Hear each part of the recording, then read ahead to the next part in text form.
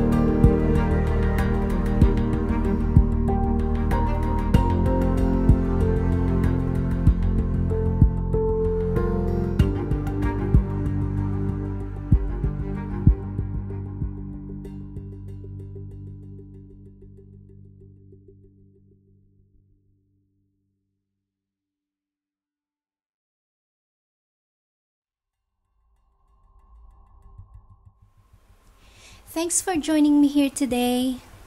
If you have enjoyed this video and feel you would like to support the channel, there is a $5 Buy Me a Coffee feature incorporated in the description box below, which helps to maintain the channel and is very much appreciated. Please be sure to let your friends and family know about Stitchery lovers so they too can enjoy a relaxing stitching experience. Don't forget to subscribe to the channel and click the notification bell to ensure that you never miss any of the future videos. I look forward to joining you again. In the meantime, please take care and happy stitching. Bye for now.